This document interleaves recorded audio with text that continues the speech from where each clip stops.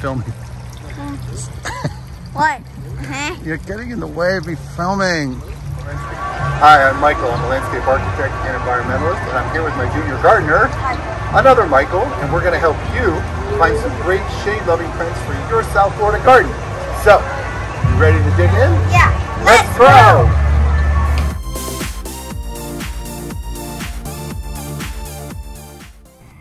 effort to help you find the shade plant you're looking for, we created three categories. Starting with large shade plants that get somewhere between 4 and 8 feet tall, then we'll move on into the medium category of shade plants that grow somewhere between 2 and 4 feet tall, and the final category which will be small ground covers and they'll be in the range of between 1 and 2 feet tall. Capping off this video is a written list of all the plants in the large, medium, and small categories, which you could use as a plant guide when you go looking for plants for your garden. So here we have a cool shade-loving alocasia, the yucatan. Aren't the leaves kind of cool, Michael? Yes, they are. What do you like about this one? I like the. I don't know. Almost looks fake, right? Yeah. Right, right. Calidora alocasia, great, great shade loving plant. Michael, put your hand up against it, to show how big the leaves are. Whoa. Whoa. And look at this variegated alocasia. Beautiful modeling. Oh. Look at that specimen, right? This would be great under a large shade tree. And if you have a lot of room in your yard in the shade, you could consider the giant taro or the giant alocasia here. But know that this can easily get up to 12 to 14 feet tall, so you gotta have a lot of room for it. There are also some wonderful dwarf varieties of alocasia, and I'll go more into that in the next category of medium-sized shade plants. One of my faves is, is the Licuala grandis. I love this. You may have seen that video that we did at Native Tree Nursery. Look at these Licuala grandis. Aren't they spectacular? Wow.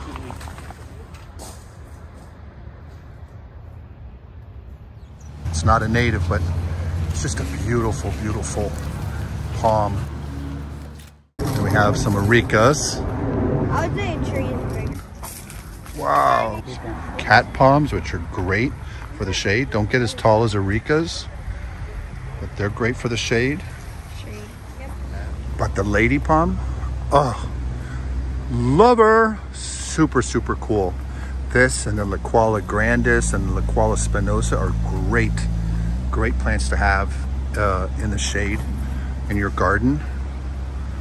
They do not grow fast, but they create this wonderful texture. It will have um, a similar look to the to the uh, uh, spinosa, uh, but their leaves, you know, they have this little fan-shaped look to them. But the spinosa doesn't get as bushy uh, with with these having many, many, many, many uh, stalks coming out, stems come out of the ground. They grow in these clusters.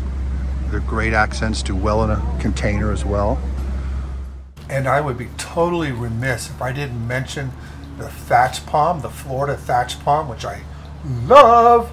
It's a Florida native, obviously, Florida thatch palm. And it, it does great in the shade and it does really good in a container, you all. Highly drought tolerant. There's also silver palm and some others, and I'll put that again, it, like I mentioned, in the summary at the end. Here's another Florida native, the saw palmetto. It comes in a silver and a green variety. It's very slow growing and it maxes out at around seven, eight feet tall at maturity. And here you can see some chamaedorea palms and some white bird of paradise. They do great in the shade. Oh my God, look at these giant cordyline. Wow, black magic. hearing my footsteps. Yeah, man, these are massive, massive. They're pretty big. Yeah. And we have some more cordyline over here. These can handle the shade. There's a whole bunch of different varieties they've been making. This is cordyline as well. This is the Thai uh, Bolero. really nice. Kind of cool, huh? Yeah. Red Sister Red Thai sister. plant. Ooh, Can you I- go behind there over there, Michael? See if you can stand up next to one so people can see how tall it is. Look a little bit more. Whoa! That's kid height, right? Yeah, it's kid height. Isn't that kind of cool? Yeah, it's cool. And what's behind you? That's a ginger. Yeah. Here's some of the ginger, red, and the pink. Beautiful. This will be about their mature size, just a little over six feet. Does very well in South Florida. Gardens in partial shade. Over here we have the variegated ginger. This does great in the shade. Beautiful flowers. You've seen our video at Fairchild where this one was in flower. Put a PIP image in there so you can see the video. It'll grow between four and five feet tall by about four feet wide. You see these over here? These are begonias. These are great for your uh, garden as well in the shade. Right. You know, the giant elephant ears behind them, great pairing. Here we have some Dracaena. These are really cool, tough. It's bush type, but you can see how they can get quite tall. Most dracaenas will get like that. But these can handle deep shade. Give you a lot of cool texture could consider the, the Warneckii, which is the white variegated one. There's one over here. I'll show you. And I'll give you a little more color. Let's see, where was it? Right. Oh, the Carmen's cool too because it's got that yellow edge. Like that. There's the Warneckii. See how that is? It's cool. It's got that white edge. But the sander is is cool too. You know, a little more dusty gray white. Song of India, which I love this plant. Super tough. Slow growing though. Super cool. This is the age-old Dracaena mascane that we used back in the 90s so much in interiors. We see these major trunks. These things, they can go up to, you know, eight feet tall with some of these plants. You know, really really uh, the plant du jour back then. Here are the cane plants I'm talking about. And then we have over here this nice little lightly variegated one, the Lisa cane Dracaena. And we have the lemon lime, one of my faves. One of my faves. It gets this beautiful, beautiful yellow edge to the leaves the green center. And then the Dracaena Limelight, super bright yellow, very similar to the Moonlight Philodendron in color, right? And this is the compacta I was mentioning that would go really well to contrast to either this Dracaena to Dracaena, or do this uh, compacted, this dark, dark uh, green dragon tree next to the moonlight philodendron. See some? Oh, got the lady di heliconia here. Beautiful shade. Beautiful flower. And here we have the lobster claw heliconia, super exotic looking. It will get taller than the lady di, easily to eight feet. And copper leaves here. I mean, there's just so many of them that are great for your South Florida garden. They can do well in sun or partial shade. I mean, just amazing amount of variegation and the variety in the leaves. We have the iris petticoat here, the Tah- Tahiti, Gloria. We have the Java white.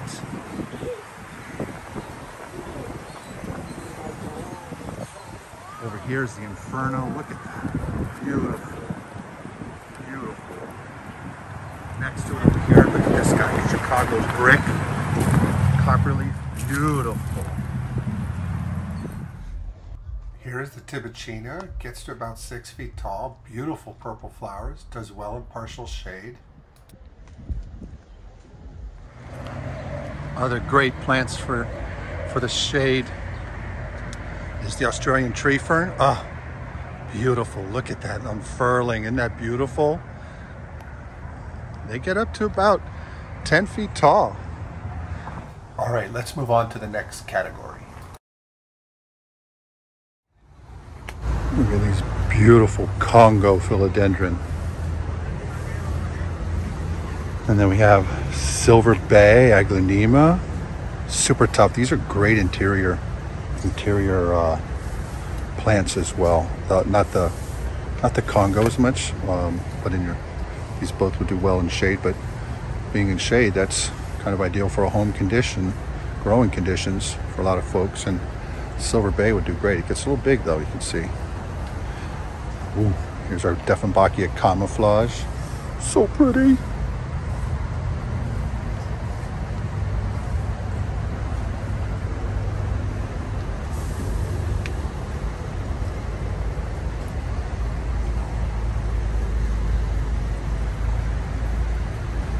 Or Sterling Dieffenbachia. We have this as a house plant.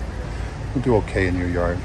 Oh, and then the beautiful moonlight moonlight philodendron. Isn't that great? Just great in the shade. Do well, like pairing up with, with actually the tricolor here, marginata. See the colors with that? And a real dark plant like uh, the uh, compacta or even the, the Congo version of the philodendron. Beautiful, beautiful plants. This is the pinecone ginger. We had it growing in our Miami Shores home. It does really well in the shade and it gives you these beautiful red flowers all the time. You have the TriStar. They're they're okay. They sometimes will do well for a, for a period of time and then kind of crap out on you. But you know, very striking color.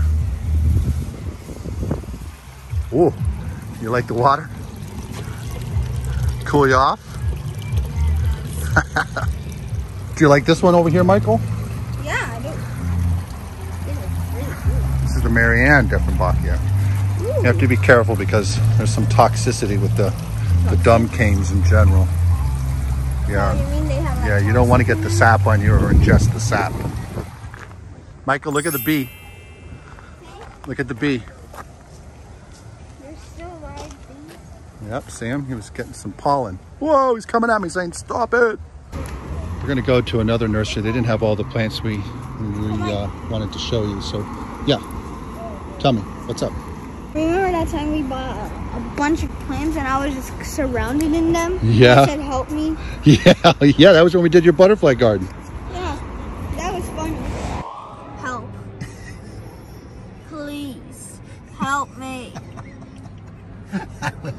We'll get you there soon enough. We, we did get quite a lot of plants. Yeah. All right, let's go to another nursery. Wait, what? Wait, what? No. Hello, Monarch.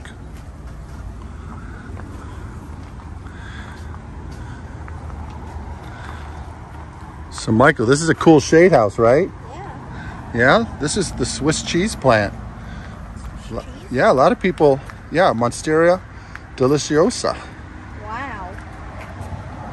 Really cool. Yeah, the Monstera deliciosa. Doesn't feel like rubber, it just feels like leaf.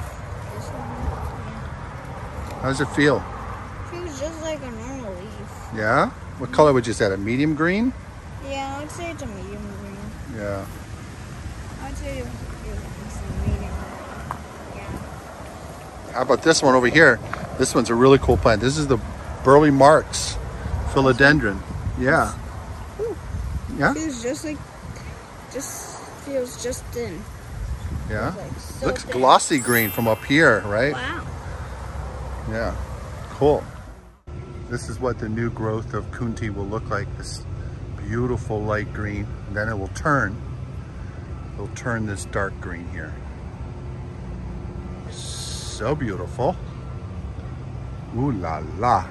It's also the host plant for the endangered Atala butterfly. Isn't this butterfly beautiful?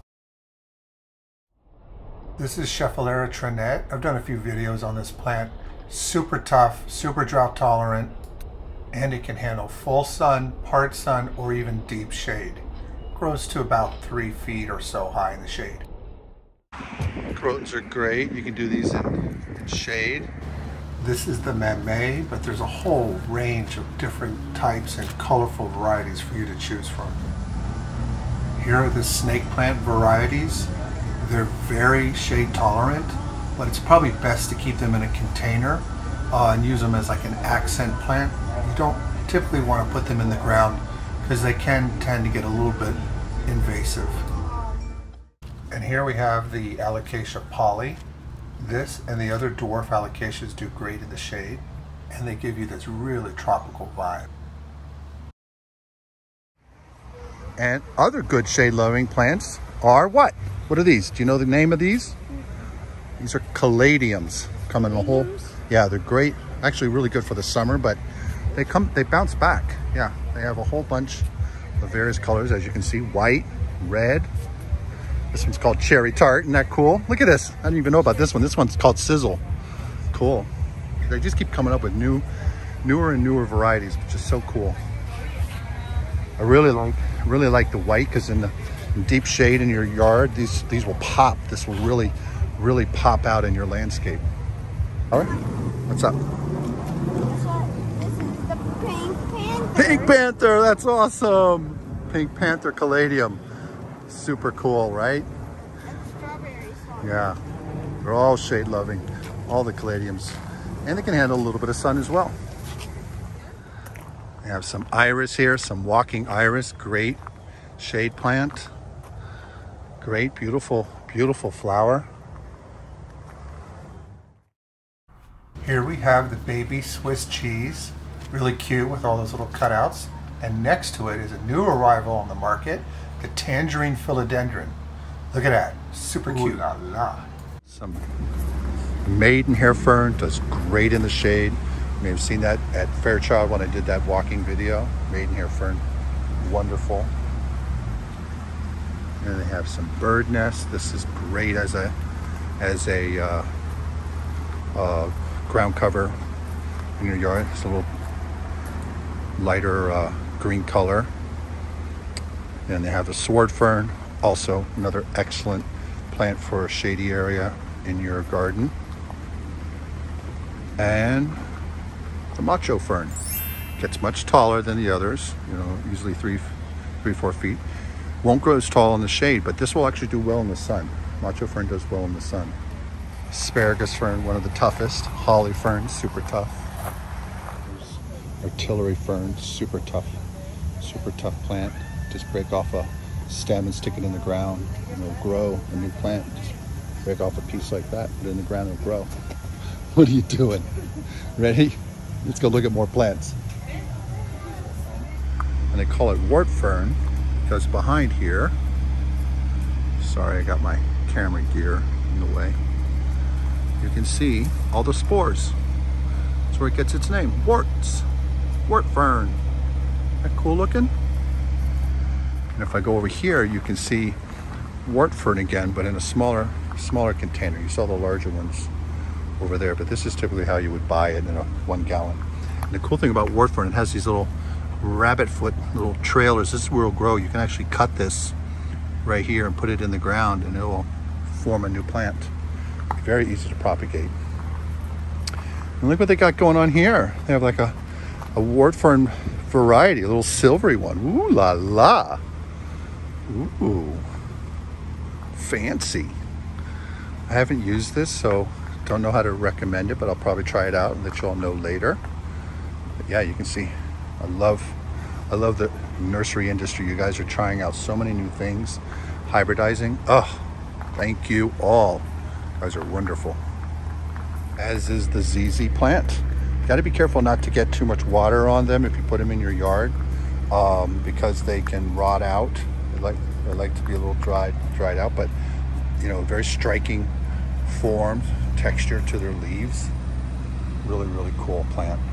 Super tough. Great, great as an interior plant too. We have this one and the ZZ Raven in our home. Does great as a house plant. Over here, we have some anthuriums. These are great for shady location in your yard. Just got to make sure you don't uh, watch for spider mites. Um, they do tend to to attack this this plant, but it has a host of different colors of, available to it. This is actually the flower, and these are just the modified leaves to the to the flower. We have white, pink, red, mostly red here. And you actually, believe it or not, you can use pothos as a ground cover in the shade here in South Florida. You know, they're super tough. Um, they will climb and climb up trees. And I think I did, I did a video on the plant as a house plant. There's many different varieties. There's the, there's just the golden pothos here. This here is marble queen. This one's a very robust grower like the, like this one, the golden. Uh, but they, they do form great ground covers here in South Florida, actually. Here we are coming upon some yellow ground orchids. Those are great. They can do well in sun or partial shade. You know, partial shade, they'll, they'll flower a little bit less, but um, they can actually grow in full sun. The, leaf tips may get a little burn, but, but you get partial shade, uh, they're gonna do really, really well. This, It's the variegated peperomia, used as a ground cover in the shade. Pretty tough, not real pests. We also have just the uh, plain green version available. Peperomia obtusifolia, but this is the variegated, variegata. Some more ginger. I don't recommend the ivies. They tend, they tend to get a lot of pests. Spider mites will attack them. So as cool as they are, I think they're more for northern Florida than down here in uh, South Florida. What are all these? Michael, what do you think these are? Those are bromeliads. Now with Zika, we didn't plant a lot of these because obviously water will hold in these cups here of the plant, which is the way the plant normally is evolved to hold onto water. A mosquito will lay larvae in there. So we stopped selling, well, a lot of places stopped selling them a few years back, but we got Zika under control, but which is great. And if you um, can, you know, deal with an occasional mosquito, these are great, great choices for your for your garden in the shade. You just have to be aware of the water and and uh, any larva that gets in there. You can put some mosquito dunks and pellets in, in there, which won't harm the plant and control the mosquitoes that way. But I mean, look at them all. They're just so cool. Look at all the different, I mean, doesn't that look like your, your, your uh, plushie, the, the tiger, the stripes, right? Isn't that cool? Let's go see some more plants. Here's some begonias. These are good for your, for a shady area in your, in your garden. You may have seen, we've done a video here on the Sinbad. And here's a beautiful Rex. So pretty. And over here, this is cool too. This is really cool plant. This is a spider plant. This is the mandarin. We've done uh, a video, it's a good house plant, but it can also be a nice accent plant in your garden, in the shade. And the classic spider plant, the green and variegated, also does pretty well as a ground cover in the shade. And the Crossandra. Real tough plant, can do well in it. This actually can do well in a container as well. There's Liriope, which is good for good for the shade or sun. You can see, look at some of the flowers are coming out. How pretty. Look at those flowers. These are coleus. They're very good. They they they garden. vary and and they're they're known for their leaves, their striking leaf color. We can we actually have the big red here in our home as a house plant, but they can they've, they've cultivated so many different varieties. So this one's known for just just shockingly bright colored leaves and not so much their flowers. But those are pretty tough plants for your South Florida garden. It's just beautiful. My goodness. And what better plant to close out this list than the orchid? Phalaenopsis, shown here, do extremely well in shade, especially the white, but you can use dendrobiums and cats and other varieties. And now we're going to switch over to the written plant summary with all of these plants written out for you. plus a few others for your consideration. And then little Michael and I will come back to say our closing remarks.